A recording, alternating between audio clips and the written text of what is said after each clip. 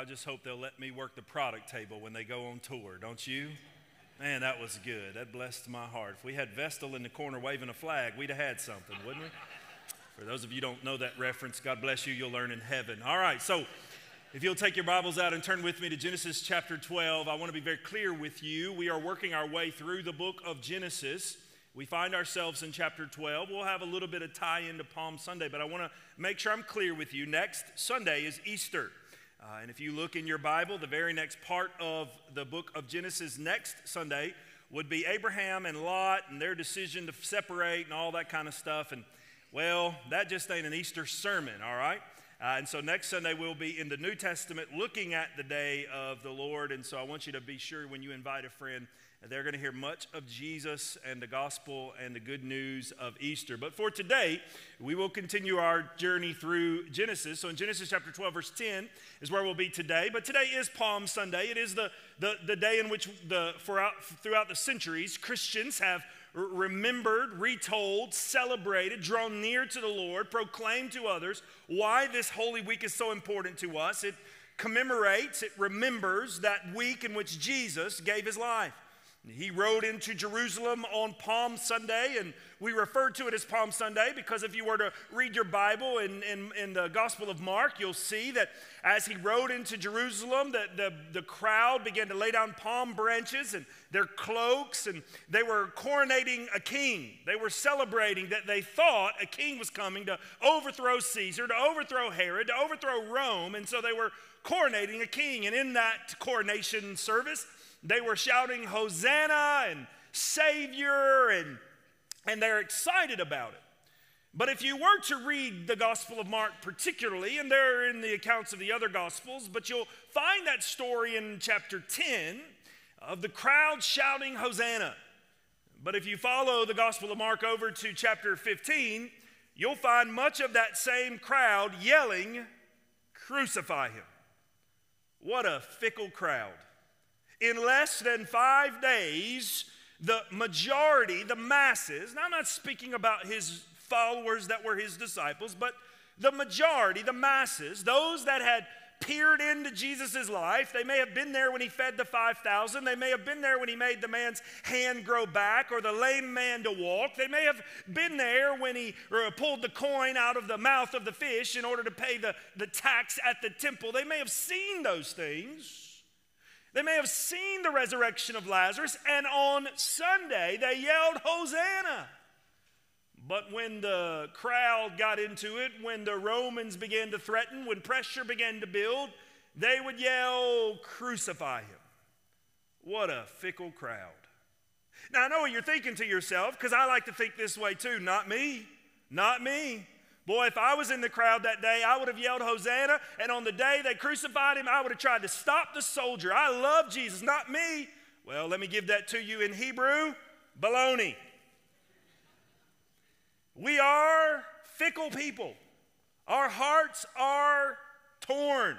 We will on Sunday worship the Lord with our hands raised high, tears down our face, snot bubbles in our nose. We will praise the Lord. And on Monday, we will use words we forgot the Lord told us not to use. One day, we will be excited about the Lord, and the next, we'll have lockjaw when we get ready to share the gospel with someone. We are fickle people. In fact, the reason why we know this is because the gospel is so good and we don't live up to the joy of the gospel, so we're frustrated in our own faith. Think for a moment about the good news of the gospel. That God, in His mercy, saw us in our sin and sent His one and only Son to come and die in our place, to be buried in our tomb, to raise from the grave, and declare to us that if we believe in Him, we trust Him, we know that He is God in the flesh who died for us, we can have our sins forgiven, our relationship with God redeemed, our eternity secure. We are now filled with the Spirit of the living God. Heaven is our home. God is our Father. Sin is our past. Satan has been defeated. Isn't the gospel good? And even when I say all that, tomorrow I will act like a fool. because my heart is fickle. My flesh is wobbly. My faith struggles. So this morning, what I hope to do by looking at one of the unfolding stories of the life of Abram, which would become Abraham that we began last week, I, I hope to show you that even when your faith is faulty, even when your faith is wobbly, even when you're not living with the zeal that you once, or you're in a season where you're struggling, I hope you will see today in the story of God dealing with Abraham that regardless of your faith, God is faithful. That the, the promises of salvation and the promises of God are not changed because we are fickle. He knows that we are a people who are frail and fallen and struggle. Let me show you what I mean. Look with me at Genesis chapter 12, beginning in verse 10. Genesis chapter 12, beginning in verse 10. We'll read through the first two verses of chapter 13. Now there was a famine in the land, so Abram went down to Egypt to sojourn there, for the famine was severe in the land. When he was about to enter into Egypt, he said to Sarah, his wife, I know you are a woman of beautiful in appearance. And when the Egyptians see you, they will say, This is his wife. Then they will kill me, but they will let you live. Say, You are my sister, that it may go well with me because of you, and that my life may be spared for your sake. When Abram entered Egypt, the Egyptians saw that the woman was very beautiful. And when the prince of Pharaoh saw her, they praised her. Princes, excuse me, if Pharaoh saw her, they praised her to Pharaoh. And the woman was taken into Pharaoh's house.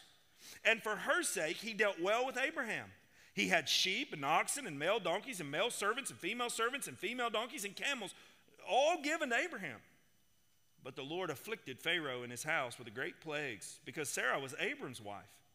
So Pharaoh called Abram and said, What is this you have done to me? Why did you not tell me that she was your wife? Why did you say she is my sister, so that I took her for my wife? Now then, here is your wife, take her and go. And Pharaoh gave men orders concerning him, and they sent him away with his wife and all that he had. Now, chapter 13. So Abram went up from Egypt, and he and his wife, and they had, they had with him, and Lot with him to Negeb. Now, Abram was very rich in livestock, silver, and in gold. Would you pray with me this morning, Father?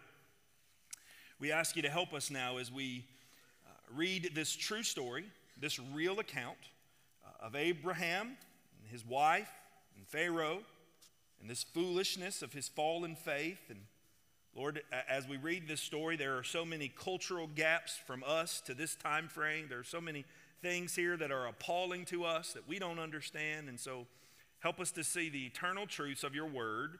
Uh, Lord, help us to, to see you as good and high and lifted up. Lord, more than anything, Help us to see that when our faith is faulty, you are always faithful. I believe, Father, that there is no way that we could gather in a room this size and there not be people who are walking through hard days, tough times, heavy news, struggles, moments of testing of their faith.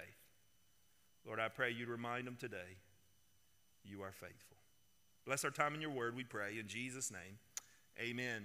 If you recall with me the story of Abram and his calling, and you were to look back at chapter 12, verse 1, the Bible says, And the Lord said to Abram, so Abram is with his family. We looked at this last week. He's with his family. He's doing okay. And God shows up out of nowhere into Abram's life and says, Abram, I'm calling you to leave your home, leave your family, leave everything you have. You can read this in the first three verses. We'll look at them in a little while. And I want you to go. I'm going to make you a great nation. I'm going to make your name great. I'm going to give you land. I'm going to give you all the generations, as the numbers of the stars and the grain on the sand. And I want you to go. Trust me.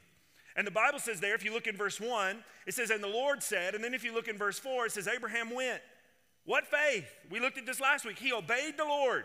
The Lord said, Go, and Abram went. He did exactly what faith calls us to do listen to the Lord, obey the Lord. So he started walking.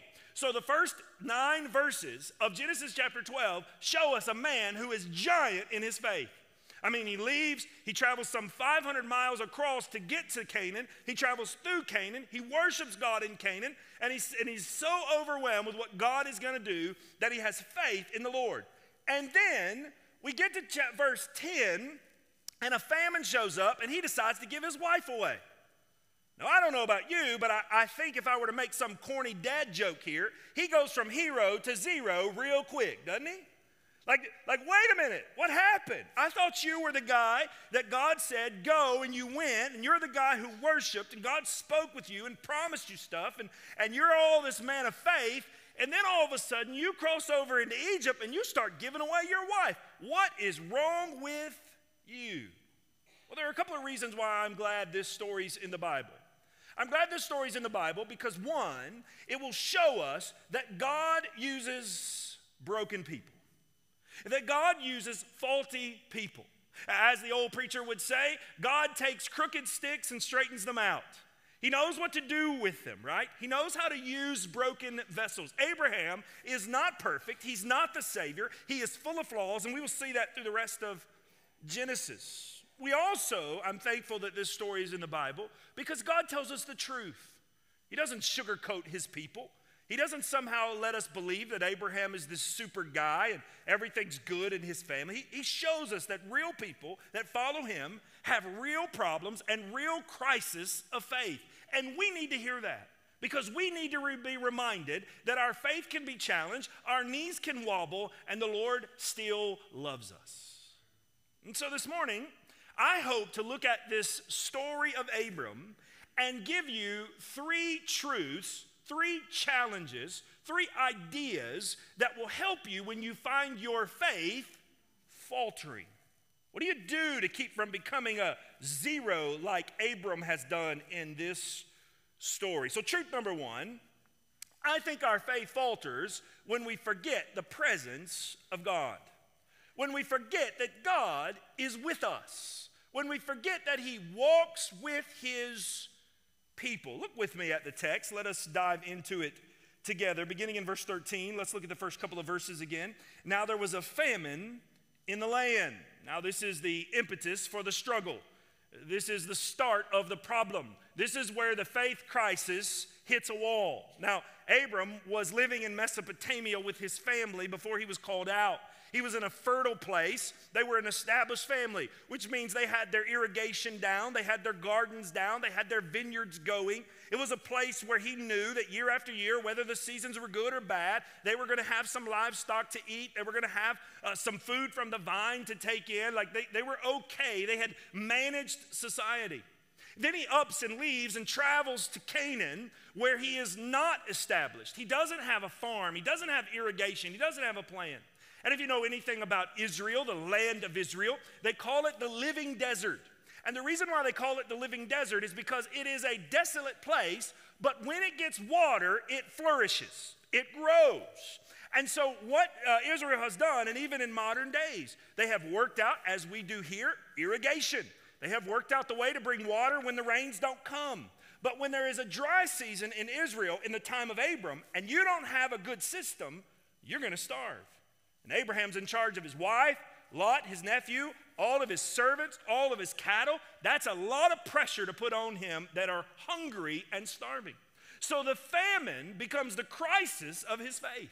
What am I going to do in this famine? What am I going to do to meet this challenge? What am I going to do? How am I going to trust the Lord? Now, I don't want to sermonize this too far, but maybe there are some of you here this morning that find yourself in a spiritual famine. You are facing a challenge. You are facing a spiritual battle. You are facing a struggle. You are facing a moment where your faith is being twisted and turned and put in the pressure cooker, if you will. What are you going to do? How are you going to make sure that you stay without wavering in this moment? Well, let me just say this Abram does it all wrong, all right? He doesn't follow the right plan. Now, the Bible says that he goes down to Egypt. Now, inherently, this is not sinful. God does not seem to condemn him for going into Egypt. In fact, we'll read later in the book of Genesis that God's people will find Egypt as a rescuer of food later on in their life. So, Egypt, because of the Nile River and the flood basin, has a very fertile soil even in dry seasons. So, it's a good place to find food. So he's going down to Egypt in order to save his family. He's making a decision. And we have no evidence in Scripture that going down to Egypt was somehow sinful for him. We don't want to we don't want to sermonize that. We don't want to say, well, he should have stayed where God told him to stay. We, we don't see that. That's not why he's rebuked in the story. But he goes down to Egypt. He goes down there, but he's worried about something. Now look at verse 11.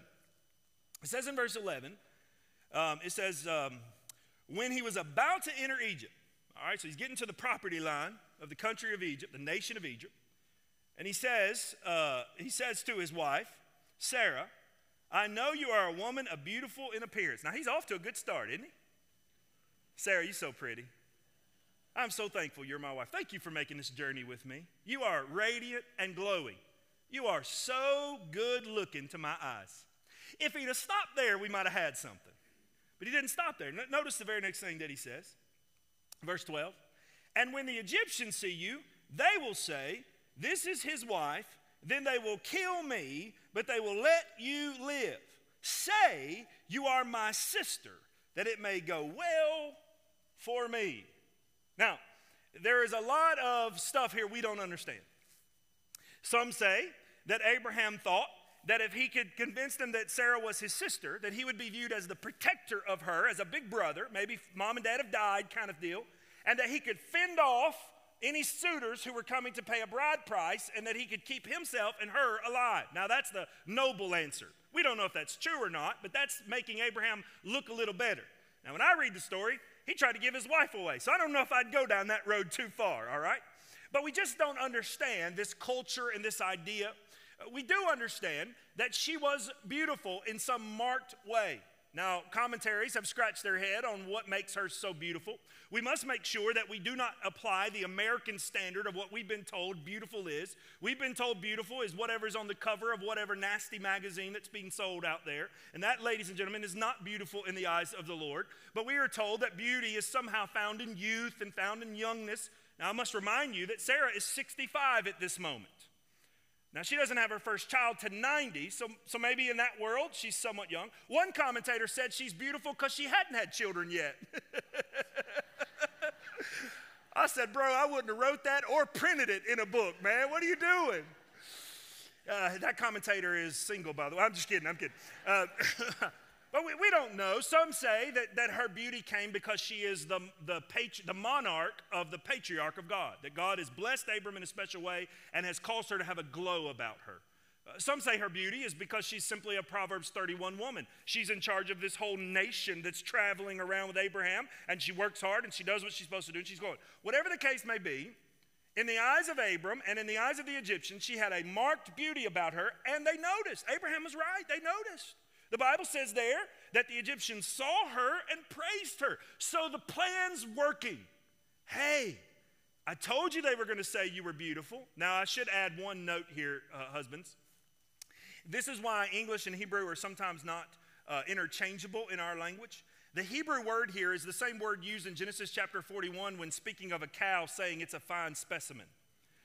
So so when you call your wife beautiful, don't say you're beautiful like Genesis chapter 12, okay? Don't, don't say that.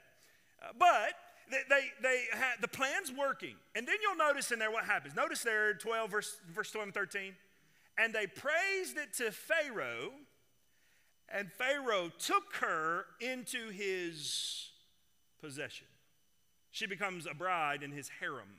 She becomes one of his collection. Now, he treated Abraham well. Notice what he did. He brought Abraham all kind of stuff. He said, Here's some servants and some donkeys. He even brought camels. And at this time in history, camels were not prolific in this area yet. So camels were a sign of luxury and riches. And so Abraham now has this whole gift. Why would Abraham get those gifts from Pharaoh? Because he's told everybody this is his sister. He's getting a bride price for his sister. So now, just imagine with me Abraham is watching his wife be carried off by the Egyptian soldiers. He's holding these really expensive camels and he's going, What have I done? It's like an unraveling episode of I Love Lucy, isn't it? Like, what have I done? I made these plans. I thought they were going to work, and boy, have they backfired. Boy, have they unraveled in front of me. Now, I want you to notice something that happens here that I think is interesting. Notice with me verse 11. I think this is the part where we can make the application. Because I'll be honest with you, most of the text as it reads is not applicable to us. I don't expect any of you are going to claim that your spouse is your brother or sister. I don't expect any of you to be fearful of the Pharaoh of Egypt taking one of you. And I certainly don't expect camels to be delivered to your front yard. But I want you to see what I think is applicable to us. Look at verse 11. He says in verse 11, when he was about to enter Egypt. I find that striking that Abraham, up until now, heard God over here in Mesopotamia God said, Go to a land I will show you. He didn't even give him directions. Start walking. And he trusted God enough to start walking. He walked all the way across the desert. He walked all the way to the northern end of Canaan. He walked all the way through the land of Canaan that was already occupied by the Canaanites. Those were not his people. He walked all the way through that land. All along the way, he felt the presence of the Lord. In fact, look in your Bibles with me for just a moment at chapter 12. Go back up with me to verse 7. While he's in the land of Canaan, Abraham actually worships God. In verse 7, it says, Then the Lord appeared to Abram and said, To your offsprings I will give this land. So he built there an altar to the Lord who had appeared to him. Now, now skip down uh, to verse uh, 8, or, or, or yeah, verse 8. And there he moved to the hill country on the east, to Bethel, and he pitched his tent in Bethel on the west and Ai on the east. And now notice this. And there he built an altar of the Lord and called upon the name of the Lord. He worshiped the Lord all along the way, and somehow, don't miss this now, somehow, when he saw the boundary line of Egypt, he assumed God wasn't going with him. Now, how foolish is this? How foolish is it for him to think that when he reached a testing point of a famine in his faith, or he reached a location of Egypt, that somehow the famine or the boundary line of Egypt was such a formidable foe that God would be limited with him. Now, brothers and sisters, is this is not the story of our heart. We will wake up one day, calamity will come, crisis will fall, the phone will ring, the news will not be good. We will wake up one day and the vices of this world have squeezed us and squeezed us and squeezed us and squeezed us. And somewhere deep down, we may not articulate it, but we will behave in a manner as if we think God has left us. We will behave in a manner as we will think, I am facing this problem, this situation, this crisis of my faith, and I better figure it out on my own because God is not here. How foolish are we to? You see, our faith wobbles when we don't wake each morning and remember while we were sleeping, God was holding all things together. And when we wake, He meets us in the morning because He's the God who's always with us. Abram forgot the presence of the Lord. I find it interesting that as he stared at Egypt, he was scared but he forgot to stare at the stars over Egypt that God had made. I find it interesting that as he crossed into the land of Egypt over the raging rivers that he would once find food from, he forgot the God who carved those rivers. I find it interesting that he worshiped God in Canaan and assumed God couldn't be in Egypt. Brothers and sisters, hear me now. Wherever you find yourself, whatever famine you may be in, whatever place you may have gotten to, whatever challenge or struggle or uncertainty may be the path in front of you. I know this for sure. God is with you, God is there, God will never leave you or forsake you. This is the promise of a loving God who is with his people. This is Abraham, where are you think where do you think I went? Why do you think I'm not with you? And because he didn't see the presence of God, because he didn't understand the presence of God, because he felt God had forsaken him, he began to do it in his own power and make schemes in himself.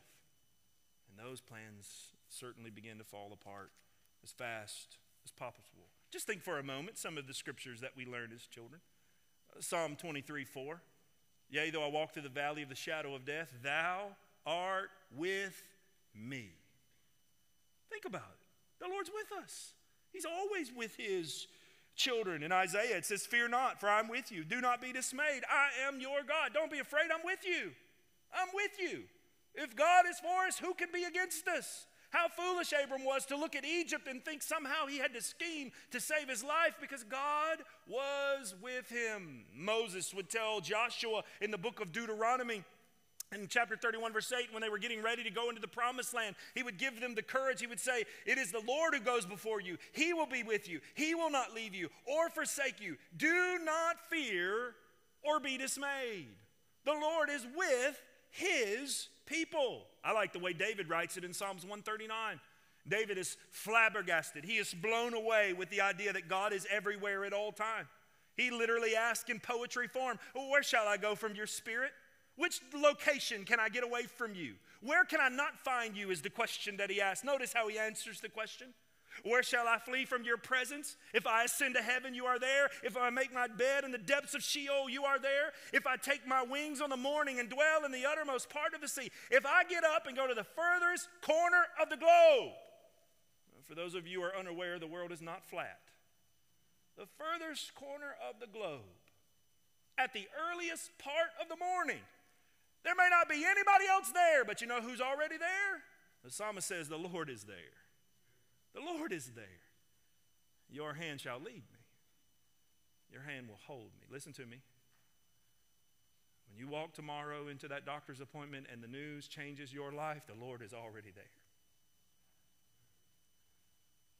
When you sit by the bed of your dying family member and you hold their hand and you find the grief is so unbearable and you don't understand why God didn't do it this way or that way or this way, listen to me now. I will not leave you or forsake you. God is there.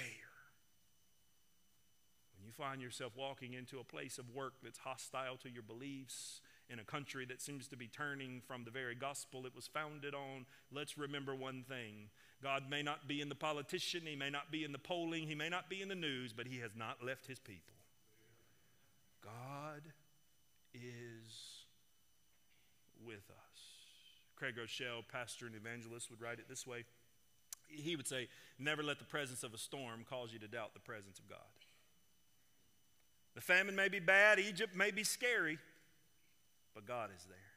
Our faith wobbles when we forget His presence. Number two, I think we can learn from this story that our faith falters when we forget his power. Look how the story unfolds. Uh, in my reading of the story, Pharaoh's kind of treated unfairly. Uh, he's kind of not uh, handled uh, well if you, if you think about it, but then you start to see that God's up to something, God's doing something. So notice with me what happens. Look how it unfolds, look where it goes. He says uh, in verse 14, when Abram entered Egypt, uh, or excuse me, yeah, when Abraham entered Egypt, the Egyptians saw that her uh, that the woman was beautiful, and when the prince of Pharaoh saw her, they praised her to Pharaoh, and the woman was taken into Pharaoh's house. And for her sake, he dealt well with Abram, and he sent sheep and oxen and male donkeys and male servants and female servants and female donkeys and camels. Now look at verse 17. But the Lord afflicted Pharaoh. This is sudden onset disease some sort of plague. Most likely, you see the pattern in Scripture, most likely some sort of skin disease, maybe boils or leprosy or something hit him quickly. And all of his house became with this plague. Now, we will see this happen again in Scripture. Pharaoh down the road will be cursed with plagues. Pharaoh down the road will have to make a decision if he'll let God's people go or not. This is a foreshadowing of what God will do with, with uh, Moses and, and Joseph's descendants in Egypt, but we see it here with Abram. He says, But the Lord afflicted Pharaoh and his house with great plagues because Sarah was Abram's wife. So Pharaoh called Abram and said, What is this you have done to me? Why did you not tell me that this was your wife? Why did you say, She is my sister, so that I took her as my wife? Now then, here is your wife. Take her and go. We would say it this way get out. Now, verse 20. And Pharaoh gave them orders concerning the men, and they sent him away. It's not only does he say, Get out, he says, You walk them to the boundary line. You make sure you're waving at them as they go out of Egypt. Now, this is a fickle story. It is different to our ears. We don't quite understand what's happening. We don't know what's going on. Just imagine with me again Abraham. He comes up with this scheme because he's afraid that somehow God's not going to be with him. And so he thinks he has to figure it out on his own. So he comes up with this scheme with Sarah. Sarah, pretend you're my wife. Now, before you think, well, Sarah wasn't involved, she went along with it. She did. We don't, we don't know all that. We're not placing blame on either one, but we're just saying they came up with a really dumb idea. And they decided to play out this idea, and it fell in their lap because they didn't trust in the presence of the Lord. And so Pharaoh shows up, and Abraham has no way to say no to Pharaoh. He has no way to say, Wait, I was lying. That's my wife. He's scared for his life. He's scared that he lied to the, to the king of Egypt. And so what does he do? He loses his family, loses his wife. She goes away. I can just see him holding those camels, weeping, going, What am I going to do now? God told me I was going to be the father of a great nation. I was going to have a land. And now I've lost the wife that's going to give me the children to father the nation. I am in trouble. And then can you imagine? Pharaoh looking up, and all those Egyptians have swung around and begun to come back.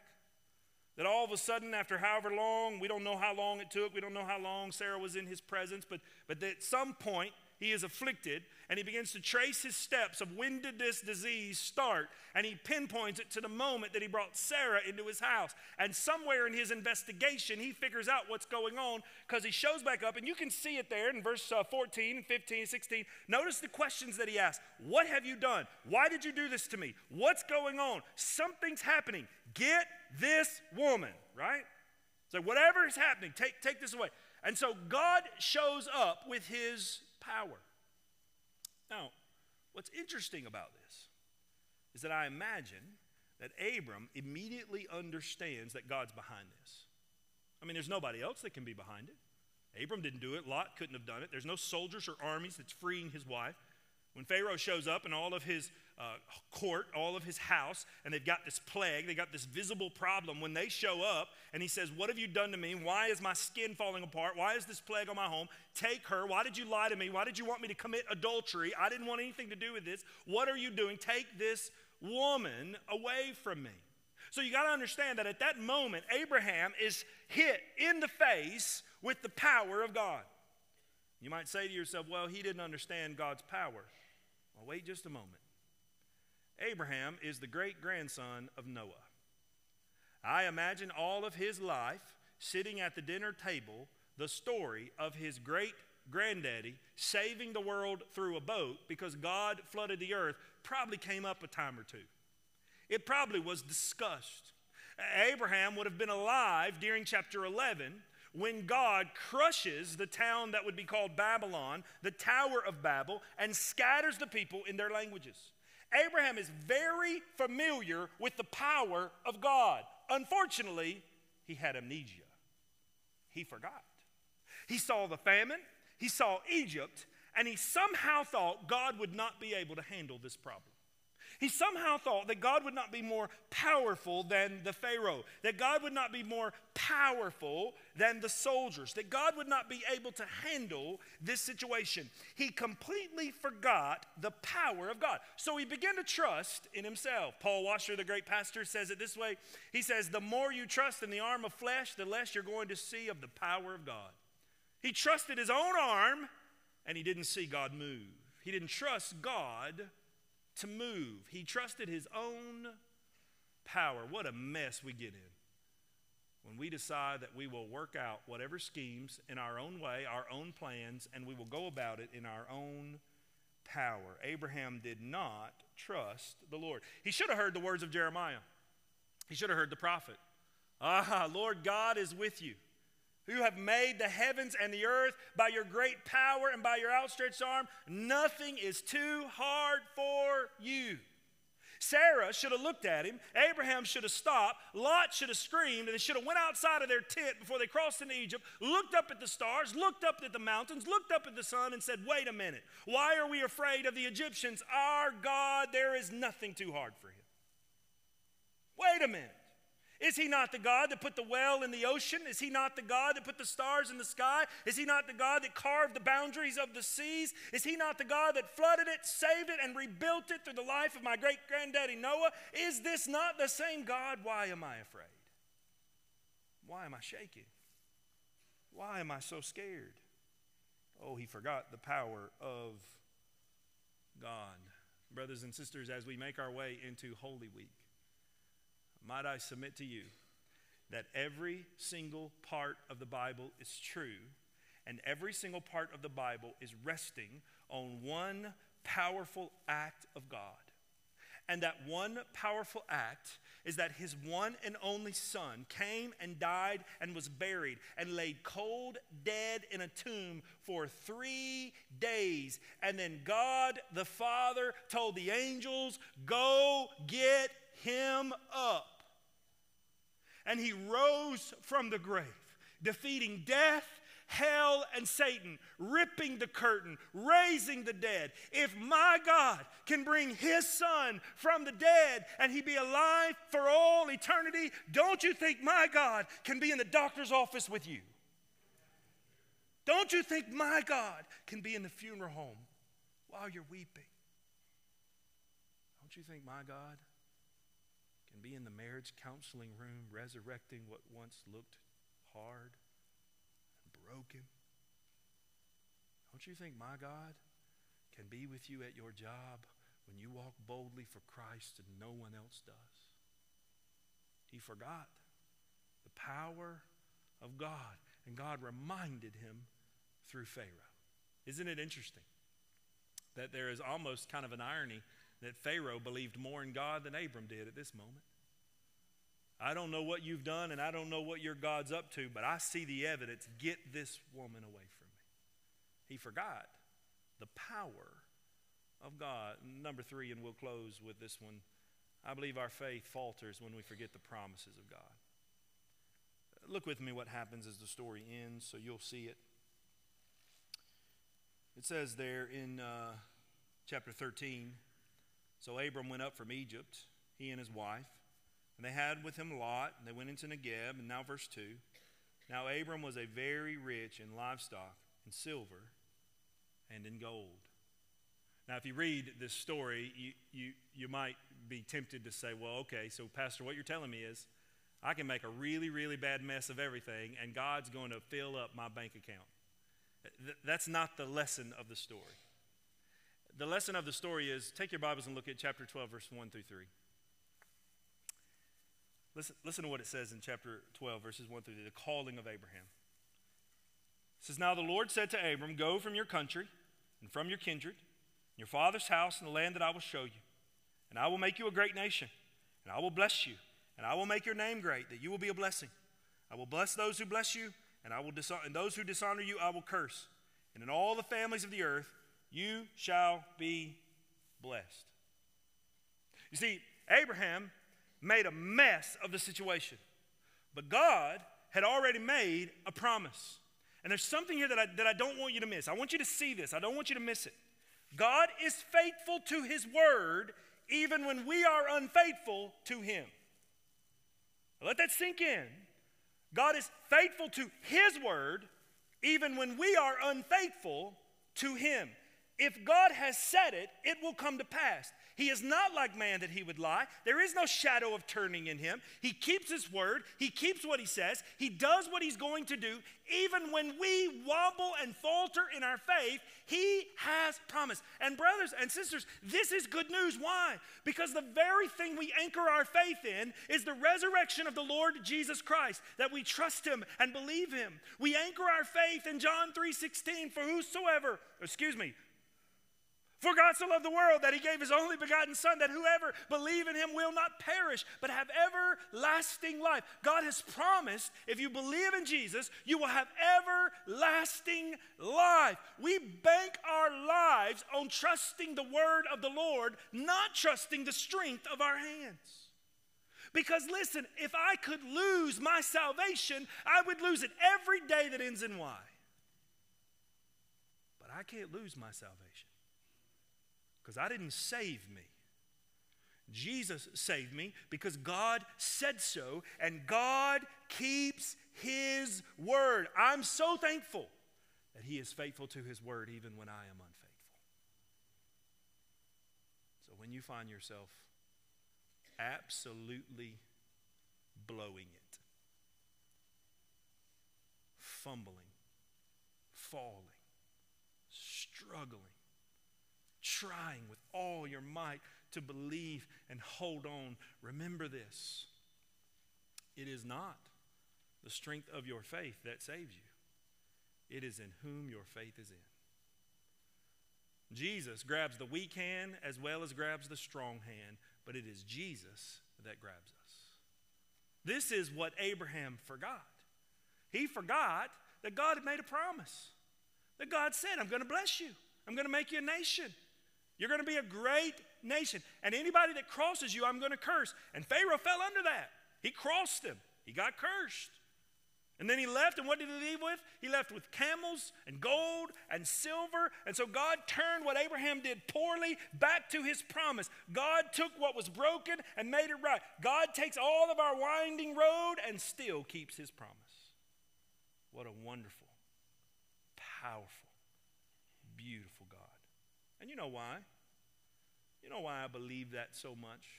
You know why I believe I can trust the word of the Lord? Because 2,000 years ago, in the city of Jerusalem, Jesus said, I'm going to go and die and be buried, and I'm going to raise again. And 2,000 years ago, Jesus went and died and was buried and rose again, and they have yet to find his body, so I believe every word. Amen. I believe the Lord.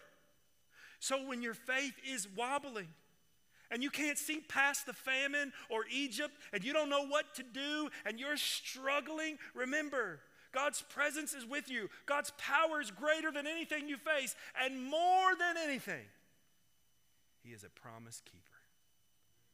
He will not break His promise. This is our God. This is how good he is. I'm reminded of the saint who was dying. And on his deathbed, he was wrenching in torment because he could not remember any of his favorite Bible verses. He was struggling to recall them. It was causing very much anxiousness in his heart. And a friend, pastor, came and sat with him, and he said, Pastor, I'm, I'm so worried about my eternity because I can't remember a single verse I learned. The pastor took him by the hand wiped a tear from his eye, and said, Friend, you may not remember any of them, but God remembers all of them. God is faithful to his word. So you may be here this morning, and you are in one of the hardest seasons of your life, or it may be tomorrow that it shows up. Just remember, before you start scheming and plotting, and certainly don't try to give away your spouse Remember, God is with you, God is all powerful, and God keeps his promises. Would you pray with me, Father? Lord, we come before you now and we're thankful that you have done this. God, that every promise in your word is true and right because you are the God of the resurrection. Hey, I'm Pastor Cory. And I just want to say thank you for worshiping with us online. It is so great that through technology you were able to join us today. I hope while you got to sing with God's people and hear His word preached, you were moved and touched by the Holy Spirit. Maybe while you were worshiping with us online, the Lord began to prompt your heart. Maybe He's calling you to make some sort of decision or follow Him in a more tangible way. Or maybe you just realized you need some help and you want some other people to come along beside you and encourage you in your walk with the Lord. If that's the case, we want to help you. We want to connect with you. We want to tell you that we're a church that's here for you. There are two ways that you can contact us. First, you can click on the link in this post above the video and you'll find all kind of ways to hear more about who we are, fill out a contact information, or put in a prayer request. Or if you'd like to, you can email the email that's coming across the screen now, prayer at brushycreek.org.